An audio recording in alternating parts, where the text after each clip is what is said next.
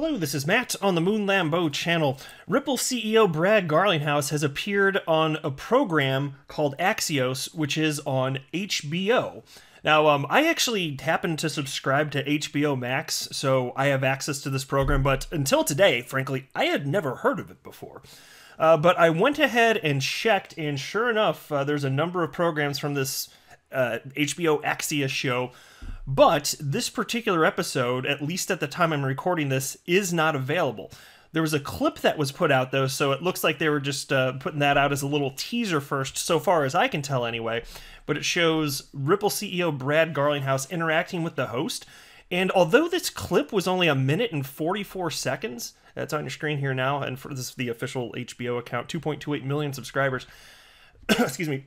Uh, they actually covered in this very short clip a few like actually key points here, including the idea like what happens to XRP if Ripple goes away. Brad Garlinghouse addresses it right there because he's he's asked effectively. Uh, well, XRP. I mean, is, is the idea of it? Uh, is your idea your your defense effectively that XRP is not a security purely because it's been traded for you know the better part of a decade? And I'm paraphrasing here, but that that's essentially the question.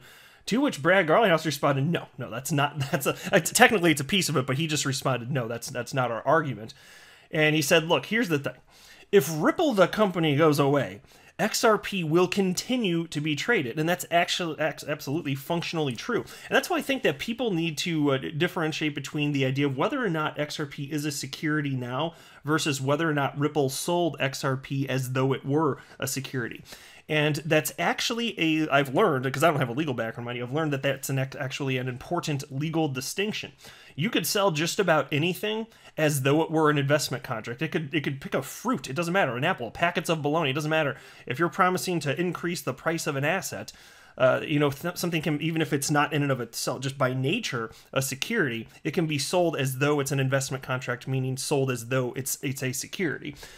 So, um, you know, but that's why I really think that you know we need to have that understanding for so we can have you know coherent conversations here in the XRP community on this topic. But um, also, I just I feel like this needs to be broken down from a legal perspective as as such. It needs because look, even if Ripple did something wrong, and I'm not saying they did in the way that they sold XRP, even if they did, there's no way in hell that XRP to, today is a uh, is a security. Um, and also, by the way, so again, not only do I not have any sort of legal background and I'm not offering legal advice, I also don't have a financial background. I'm not offering financial advice, and so you should not buy or sell anything because of anything that I say or write. I'm just an enthusiast in the space who likes to talk about Ripple and XRP and crypto related topics. I make YouTube videos purely as a hobby, but there is nothing special about me. So uh, here's the headline from crypto media outlet U today. If Ripple goes away, XRP will keep trading, says CEO Brad Garlinghouse in the latest episode of documentary news program Axios on HBO. Ripple CEO Brad Garlinghouse said that XRP would continue trading even if Ripple went away to make a case against classifying the token as a security. And here's a quote If you own a security, it gives you ownership of a company, right? If Ripple goes away, XRP is gonna keep trading. Exactly. So it's functionally different than what has historically been described as a security from a legal perspective. That's why I keep saying, you know, try keep putting that, uh, you know, uh, square peg in the round hole or whatever, some some such jazz. Doesn't really work. Shoehorning this, you know, shoehorning this new asset uh, into the existing legal framework doesn't really work so well. It functionally doesn't work, which is why we're seeing such a train wreck in the legal system here. Now, um, and it's I'll tell you what, it's going to be interesting once this episode actually does air because uh, in looking on my HBO Max app on my smart television, I saw that uh, the typical episode is about 30 minutes. So if they got into these types of questions, I know they probably make some of the juiciest stuff uh, available in the, the teaser clip fine, but if they got into that much, uh, it, it, looks like there was like like no, you know, they weren't holding back in terms of what questions could be thrown at Garlinghouse. Uh, it's going to be interesting. If there's 30 minutes of this, I uh, there's going to be a lot to talk about here, and it's also fascinating to see that Brad Garlinghouse is not shying away from this. The fact, despite the fact that he's personally being sued by the SEC uh, along with Chris Larsen and Ripple, the company. Uh, he's just he's just out there and making his case. Anyway, the piece continues. Garlinghouse adds that the U.S. is the only country in the world that has alleged that the token could be a security. Ripple was slapped with a lawsuit by the U.S. Securities and Exchange Commission back in December, which accuses it of offering XRP as an unregistered security.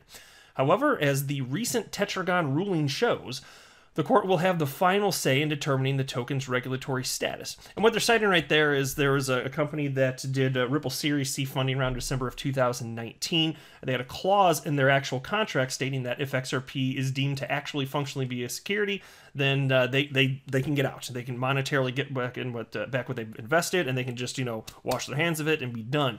So what happened here, and I, I made a video about this very recently, happened just the other day uh, judge slapped this down and said, no, this is a claim by the SEC that XRP is a security. Then making the claim doesn't make it a security. This has to be fully adjudicated, which it has not yet been to this point. And so Tetragon, it was, it seriously, it was a, a, very sweet bitch slap. It felt really, really good as an XRP holder because it did seem to me that they were jumping the gun here. Uh, now, um, excuse me, the Ripple executive, who was also named as a defendant in the lawsuit along with ex CEO Chris Larsen, says that the SEC's enforcement action will negatively affect the whole industry. And here's another quote from Brad Garlinghouse.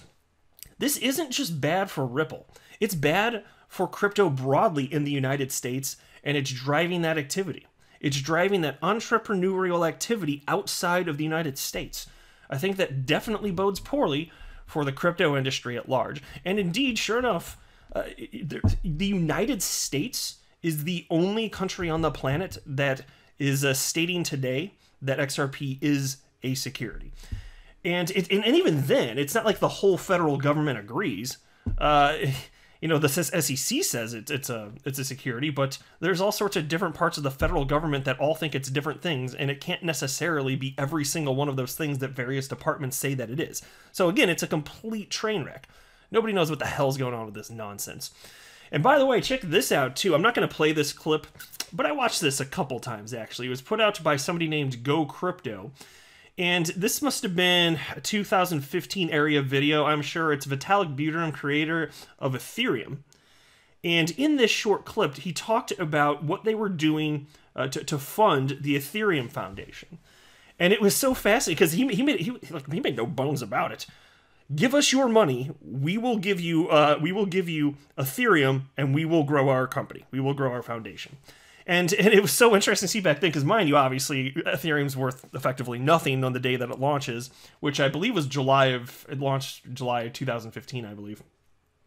And so if you jumped in you could you could purchase uh, 1000 ethereum for one bitcoin. So whatever bitcoin was worth in 2015 which which wouldn't have been much I mean, hell, you can think about. I know the price is volatile for Bitcoin, it always has been, but I mean, think about the beginning of 2017.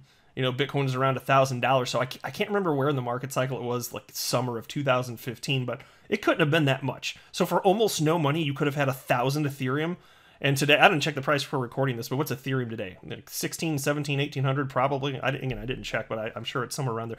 That many dollars per Ethereum, like, it's just crazy to think how this is all evolved. But, but still, I digress a little bit. The, the point being that there's no secret here that they were selling this. This sounds much more like an investment contract because look, Ripple it was first of all wasn't selling to uh, the end user ever. They never have, and they certainly weren't promising anything. There was no contract there. There couldn't have been an investment contract. And uh, but still, even so, uh, uh, Vitalik Buterin he said that their funding model was a blend of two different different uh, cryptocurrencies, and uh, he he said he was referencing XRP, but he said Ripple. Uh, but or, or, maybe in the clip he could have technically just meant what Ripple was doing in terms of utilizing XRP as a funding mechanism. But he cited them in a coin that I wasn't familiar with called Mastercoin. And so it was just kind of interesting to, to see all of this here.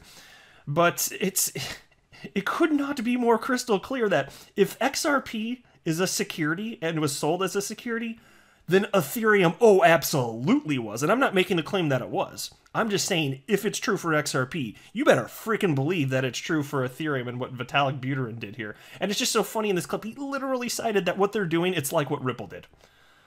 I'll tell you what, this all this all this nonsense, it just it really steams my vegetables, my friends, and that is not a good thing. I don't know. You guys tell me what you think, but as soon as this video comes out, there's going to be a lot to talk about. I'm sure with uh, you know this Brad Garlinghouse and I don't know what the host name was with this Axios show, but uh, it's going to be fun to watch this. So I'm sure whenever it is made available, I'll be talking about it more in the future. Uh, undoubtedly, if it's going to be about a half hour long episode, there's going to be a lot said, and I I, uh, I don't think that uh, the host was pulling any punches, to be honest. But um, I'll go ahead and wrap up there. I am not a financial advisor. Do not buy or sell anything because of anything that I say or write. That would be a very, very, very bad idea. Until next time, to the moon, Lambo.